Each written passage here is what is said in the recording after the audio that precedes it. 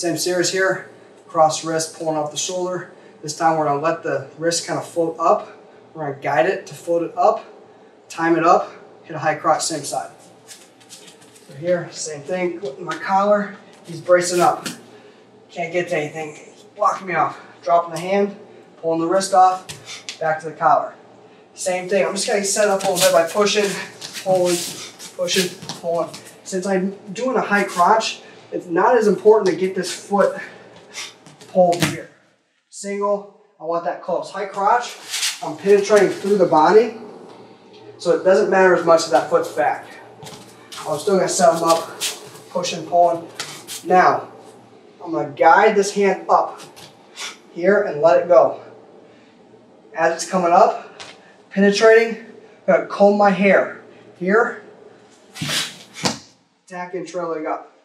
When I say comb my hair, I'm taking my hand that's on the collar and just brushing the top of my head, right here.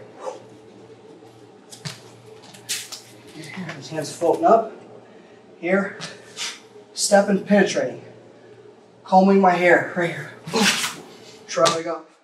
Weight on the far foot, hips in, hips right on his leg. Pulling his wrist off, up. Pulling the wrist off here, coming the collar, float it up. Here, he's coming up.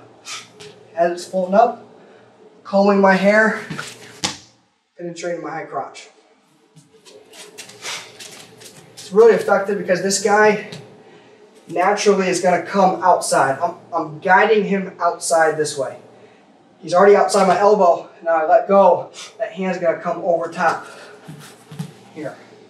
If for whatever reason I don't get him outside my elbow and I let go of this wrist and he comes inside, that's fine. I'm just going to take this back off.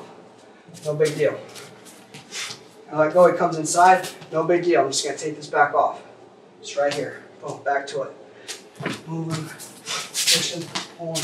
Remember, elbow down, elbow down, push. Hands floating up, high crotch, trail leg up.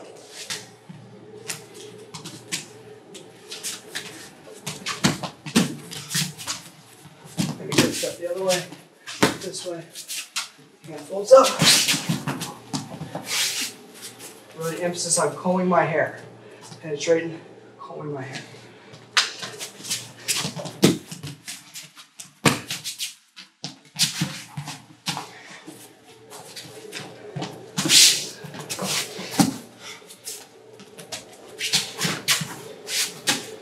Other thing I didn't mention earlier, my head position, it's gonna be hard to hit it from this side.